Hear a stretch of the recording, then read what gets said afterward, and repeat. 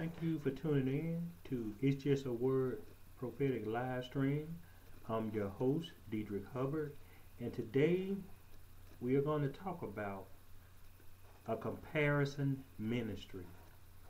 And what I mean by a comparison ministry, uh, ministry is the manner in which people uh, see other people operate and move in ministry, so they begin to mimic one another's ministry and in compare their ministry, what happens, it takes them away from the ministry or, or, or, or the or the destiny that God has for them. And what it does, it puts you on the destiny of another. We're going to be in 2 Corinthians chapter 10. I'm going to start at verse 1. And it says, Now I, Paul, myself, beseech you by the meekness and gentleness of Christ, who in presence am base among you, but being absent, I'm bold toward you. See, the first thing we got to understand when we look at that scripture is that Paul put himself in two places. He put himself in the presence of the people, and he put himself in a presence away from the people. So what he was saying, when I'm in front of you, I teach you in a way that you see my compassion, you see my heart, you see my love for what I preach. But when you see me away from you and you hear me preach and teach, it's because that the people I may be preaching or teaching to may not be as open to receive the gospel as as you were. So what they're saying is, is that sometimes uh, when you, you know, any of you ever been on a road preaching, you know, uh, uh, sometimes you just feel a fire in you that you don't feel when you're around people that you minister to all the time. And as a result, most of you uh, uh, carrying that extra heavy weight of anointing, people will be saying, well, why they don't do that at home? See, you got to understand the manner in which you submit yourself to Christ is the manner in which He endues you, uh, uh, uh, empowers you with the anointing to go up against anything. See, a lot of us, because we mimicking people and the way they operate, we don't experience the full-fledged power of the knowing that God gave us. Why? Because we want to look and sound like somebody else. Verse 2 says, But I beseech you that I might not that I may not be bold when I am present with that confidence wherewith I think to be bold against some which think of us as we walk according to the flesh. That's just what I said. See, some people, uh, uh, uh, uh, uh you know, God just used me for an example. You know, when I start ministry or when I minister somewhere, I pay attention to the people who come and hear me. See, and then I know when some people just coming to be nosy. I know when some people coming to see what Brother Hub about. Uh, see, but what happens, you know, many people who may listen to me online, they see the online persona. So they say Brother Hub ain't got no love, he rebellious, that's church hurt. They say all types types of things.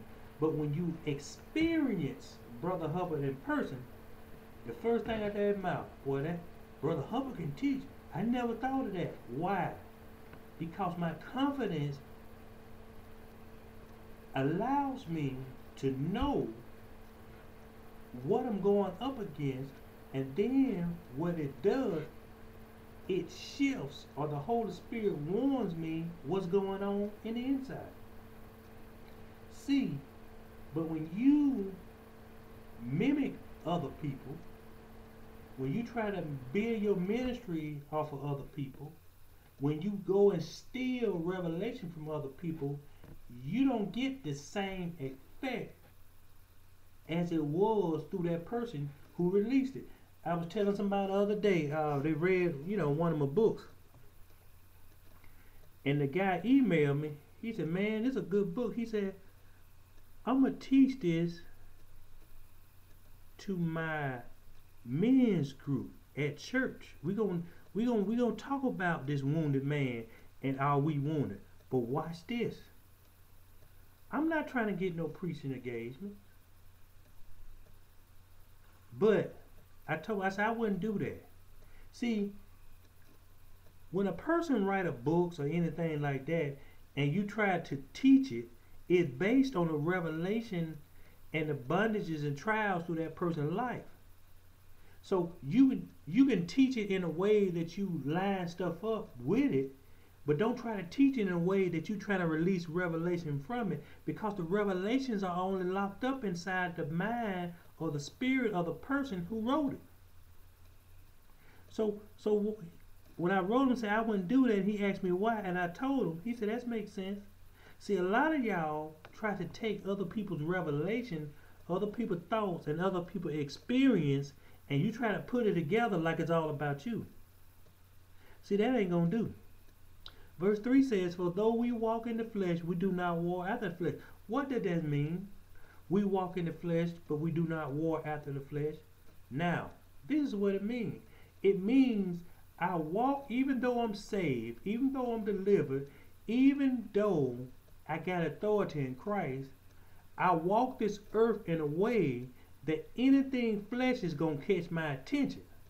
So if I see the girl with the short skirt and y'all know how I talk about her, if I see the girl with the big titties and y'all know how I talk about them, if I see all that, I don't go fighting for that, which means I can take a look. Either it's either a look of disgust or a look of the ooh, because it gonna bring back some remembrance. But I don't sit at home and say now, I ought to go get that. See, that's warring after the flesh. That means you fighting against something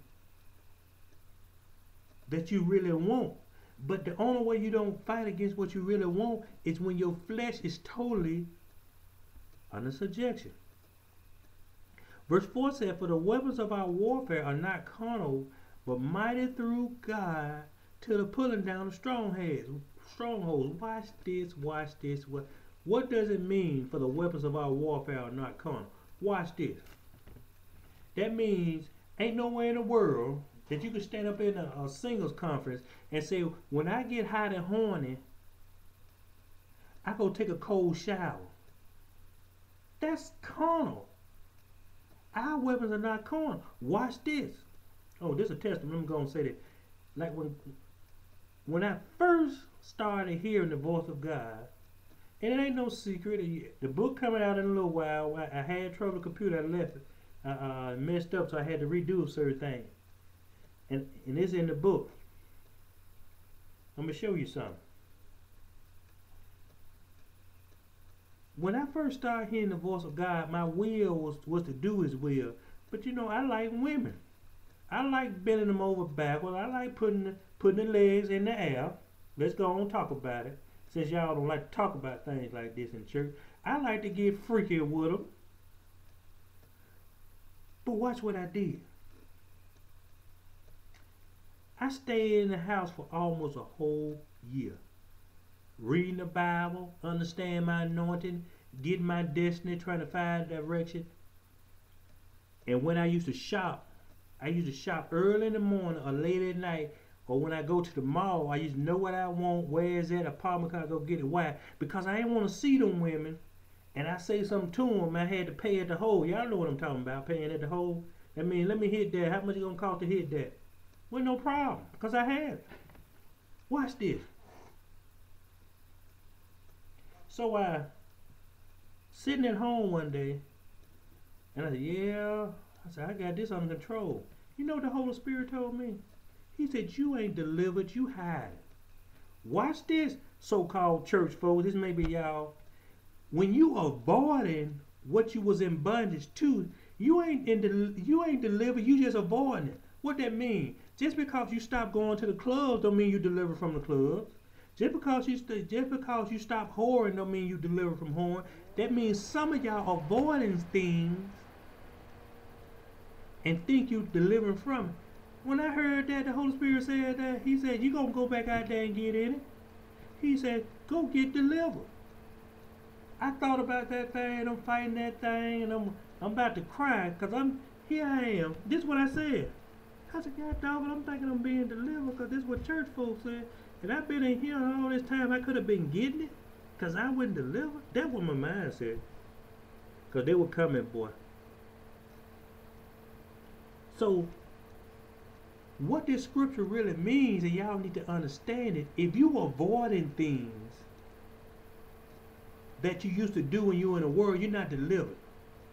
Just see, see, you deliver when you can go back to that thing and sit down and don't bother you bring people. See, when you go back to the strip club and make it rain and be talking about Jesus all the time, and you don't want to take that girl home and give two, three hundred dollars to, to tap that thing, you deliver.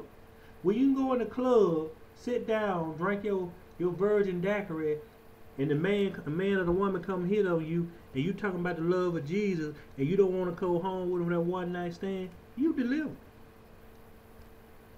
90% of the church saved, but they ain't delivered. That's why it's so easy for them to go back into what they've been through. Verse 5 says, casting down imagination and every high thing that is that exalt itself against the knowledge of God, and bringing to captivity every thought to the obedience of Christ. What are you imagining yourself to be? See, a lot of y'all imagining mega ministry, but do you know is that part of your plan? A lot of y'all want to hit TD Jakes standards. standards. Is that part of God's plan for your life? See, what happened, I never forget I was in this church. And this person wanted to be like this other minister so bad, he mimicked that person's every move. I was in another state. I can't. What's the what's that uh, white lady prophet name? I can't think of her name. But anyway, it'll come to me. It ain't you. Uh, uh, she wanted to be like this white lady prophet so bad. She cut her hair like her. She bought glasses like her. And she started walking. And she took on the appearance of this lady. See, when y'all doing things like that, that's a spirit of deception. That's a spirit of pride. That's a spirit of manipulation. And ultimately, you in witchcraft. You never desire to be like somebody else or compare your ministry to somebody else because God gave you a specific assignment to do now. Your ministry may can connect and line up with somebody else's ministry, but you are not to mimic what you see somebody else do. Verse 6 says, And having in a readiness to revenge all these disobedient which your when your obedience is, is fulfilled. Now, watch this. That's a good scripture there. You know what's, what's wrong with church and ministry? People so ready to pronounce curses and, and and, and, prophecies about destroying somebody else's ministry, and you ain't even obedient to the word of God on your life. See, I never forget. You know, see, this is why people don't be like for me to tell my testimony and preach, because you gonna learn what kind of leaders I was around. So now you see how I get revelation, how I get revelation. But watch this. I was leaving. I was. Uh, I seen some of the leaders I didn't like. But you know, I stayed there along with God told me. And then one day I, I called and said, "Hey, I'm gonna leave your ministry." Or you gonna be in the crazy house. Everything you do gonna fall apart. Ah, this and that. And then she went on to say, uh, uh, uh, uh and tried to try to pause me against everybody else. Told one lady girl in the ministry that I called her one day and said uh, uh, uh, she was masturbating over me or something like that. I can't remember what it was, but it wasn't right. but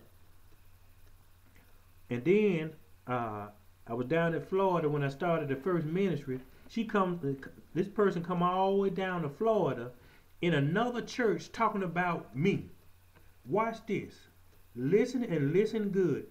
Anytime you have any individual stand behind a pulpit, pulpit and try to tear down another person's ministry, it's no God in that person. Because how can you tear down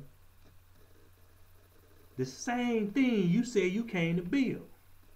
So when I hear people talking about other people's ministry, 90% of the time I'm listening, but I ain't hearing. Which means I'm trying to find what is hurt, what is gossiping, what is backbiting spirit come from. And all it was, she was hurt because I left the they was hurt because I left the ministry. So watch this. And this this would get me, and I, I never got a revelation, but I asked God, I said, now God, how can that person sit there and blind lie about me and what I'm doing and yet say they still moving in the power of you? He said, son, I've been thrown that one away. He said, what the problem is, they become so prideful and so vindictive, they don't even know they throw it away. But as long as they can bring somebody to Christ, he said, I let them stay here. And this is what he said.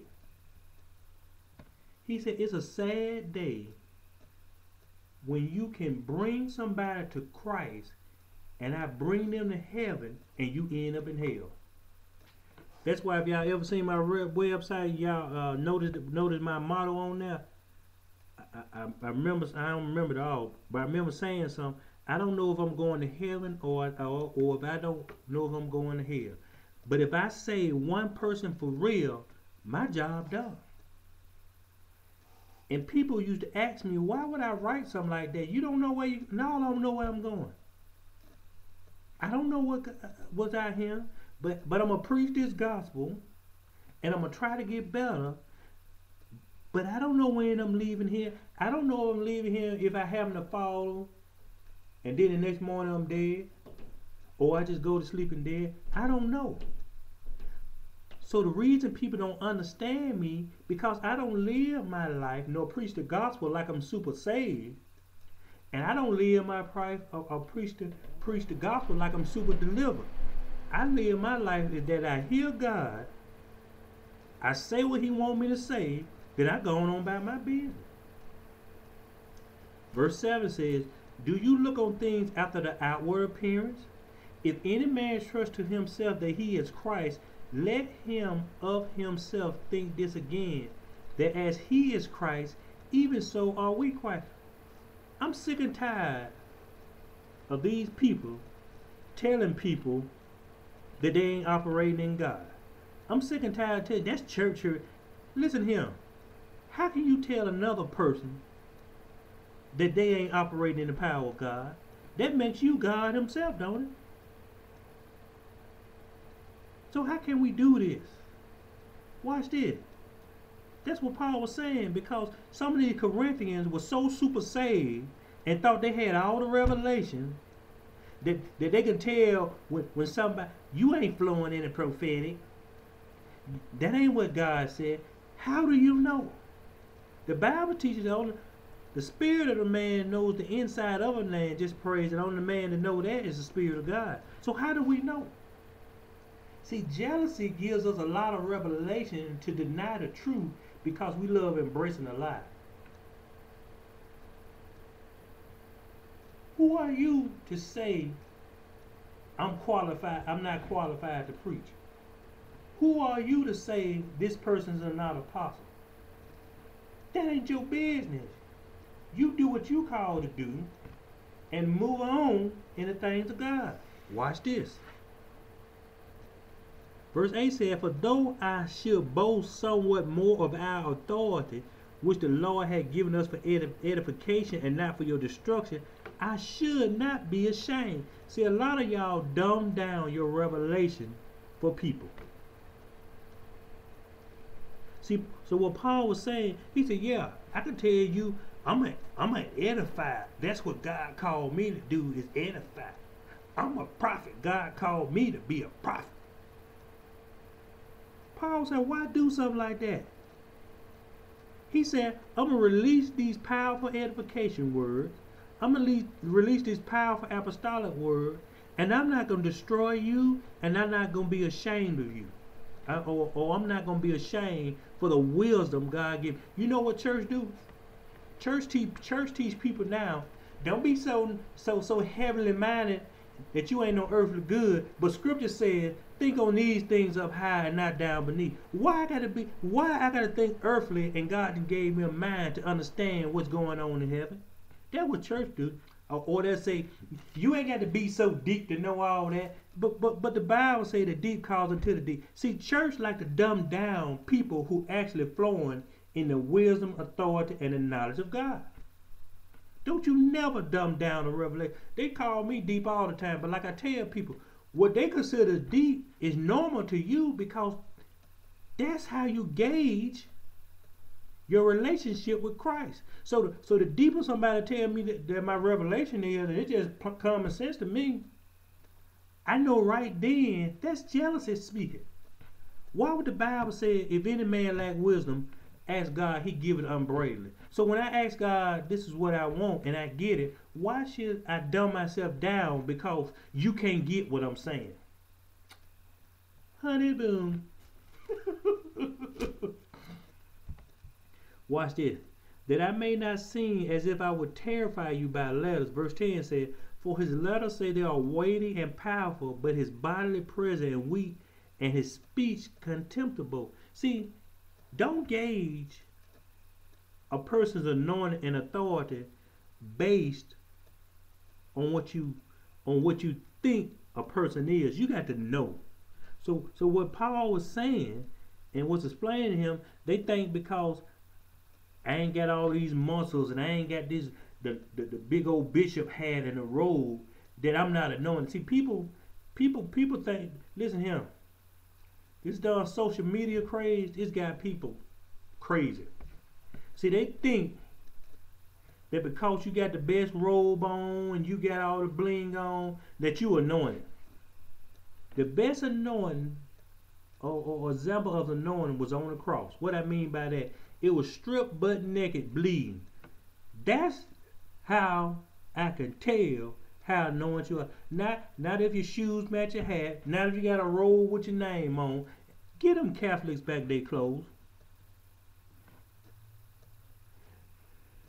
Let such and one think this, that such as we are in word by letter when we are absent, such will we be also indeed when we are present. Paul said, look here, I can I can I can write a letter to make you repent, and then when I come to you, I can preach and make you do the same thing. Because I never forget when I first started ministry, before God allowed me to come out of my shyness and begin to use uh, the tools to be heard, I used to write revelations. That's what got a lot of people to me. And the lady, uh, they used to inbox me and call me, or you know, different things. She said, "Ooh, that revelation like a breath of fresh air." She said, "I sent this to my friend in New York, and she sent this to her friend there." It was it. My my letters when I wrote my revelations used to go viral. That's how much people understood the truth that God allowed me to release. So what we have to understand, that's the way he wanted me to operate back then. Now I'm doing it a different way now. Watch this, watch this, watch this. This is, if if you don't understand nothing I said because I know I took a turn, understand this scripture here. Verse 12. For we dare not make ourselves of the number or compare ourselves with some that commend themselves, but they measure themselves by themselves and compare themselves among themselves are not wise. What Paul was saying, he said, don't make yourself of the number of these super preachers around here. Watch it. Let's break it down. For therefore we dare not make ourselves number. He said, don't you connect with people that say you got to do and do and say what they say in order to minister, or comparing ourselves with some that commend themselves, which means I started with five members, now I got 300 members, now I got four churches and 10 locations. Watch this. But they measure themselves by themselves. So he said, so he said, the mega church pastor, see, this, see, they think you made it when you called to the nation. They think you made it when you got a mega church, so you can and you want a mega church, so you connect with somebody that got a mega church because you want to build a mega church. But Paul said, watch that, and compare themselves among themselves, they're not wise. You're a fool to go to any kind of mega church pastor or pastor who connected to a mega church pastor and mimic your ministry after that pastor. You are not wise. Paul said, in other words, you're a fool to do that. Why? Because they don't want you. They just want people to know that they're connected to you. And because you like stuff like that, you I never remember uh, I forget I was in Birmingham in my favorite bookstore. I'm just in there, you know, teaching like I usually doing and uh, standing at the register, me and the guy was talking. And here comes some lady I never seen. Hey, I need to buy a chauffeur. You know I go to uh, uh, such and such church and, and, and, and, and his dad is Eddie Long and my well no she said my dad is such and such. I can't think of the pastor's name. Uh and his daddy is, is, is Bishop Eddie Long, and our great great dad is T.D. Jakes. I looked at that woman like this. I said, this fool so done done. So so watch this.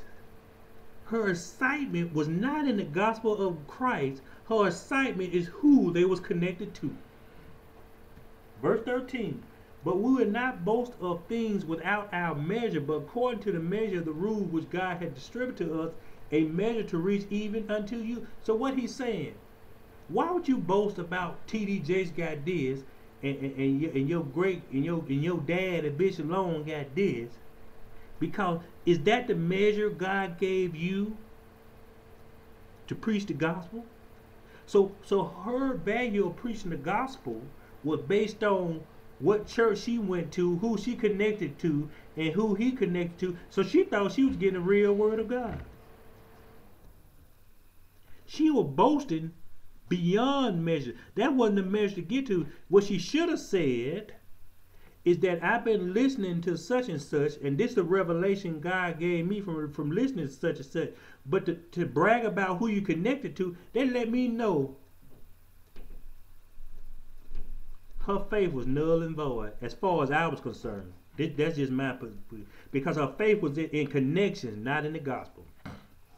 Watch this. Verse 15 said, 14 says, For we stretch not ourselves beyond our measure as though we reach not unto you, for we are come as far as to you also in preaching the gospel of Christ. What he's saying, evangelize.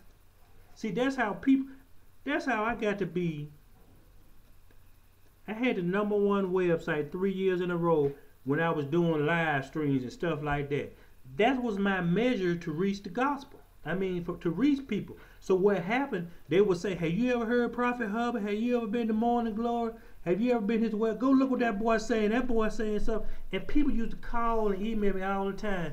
And they used to sit there and say, "I was sitting up late one night praying to God for an answer."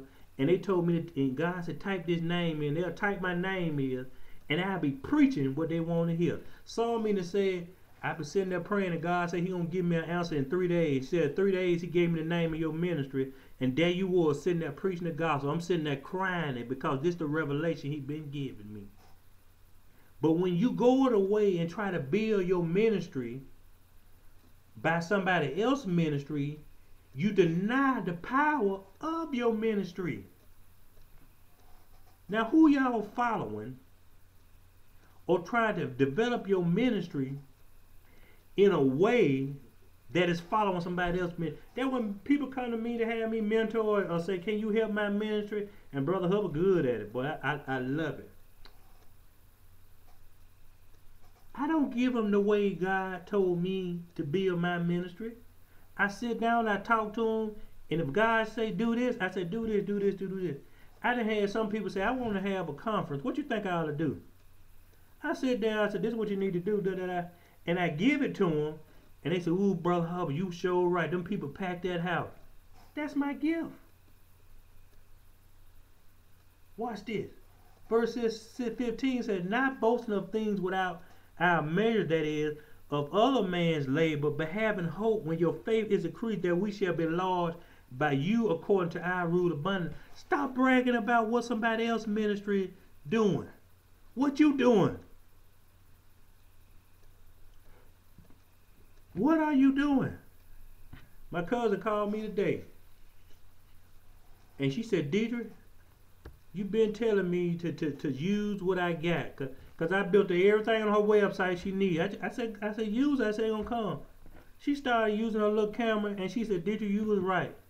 People just been inboxing telling me how many blessed. I've, I've been telling you this for the past two years. But sometimes people have to have to have to experience things or try them for themselves and then they'll really know the benefit of what's supposed to happen. So, so as far as I'm concerned, you behind because I've been told you do it. But, but I understand she's not technologically savvy like like me, and I'm not there to really show, and people don't understand how to do it. But everybody ain't called to have a have a have a live stream. Some people just good on the phone. Watch this. 16. To preach the gospel in the region beyond you and not to boast in another man's line of things made ready to our hand. But he that glory, let him glory in the Lord, for he but not he that commended himself is approved, but whom the Lord commended. See, that's why a lot of your ministry ain't growing. You under and being learned by people who you idolize. I helped so many people the past past years in my ministry, and I tell them all. I said, "Don't tell nobody you learned from me." And they used to say, "Well, why, brother?" Huff? I said, "Cause most people can't stand me." I said, "So I don't want to affect your ministry because you connected to me and learning from me." I said, "But this the way it has to be done because they said he he learned Brother Hubbard." So a lot of people listen to people out and talk and don't even know it because you see me one way, but you never experience me the whole way. I got see, that's what's wrong with church. That's why most people don't go and fed up because you you say things, but but let a person come into who they are and begin to operate in the power that God gave. See, the worst thing a sheep can do in the body of Christ is to have an understanding of who they are. Now I say this. What way have God gave you to operate your ministry and is and, and is not moving in the direction that God called you? I dare you to send me an inbox and say, Bro Hubbard, my ministry struggling. Can you help me? I dare you. Y'all be blessed and have a good day.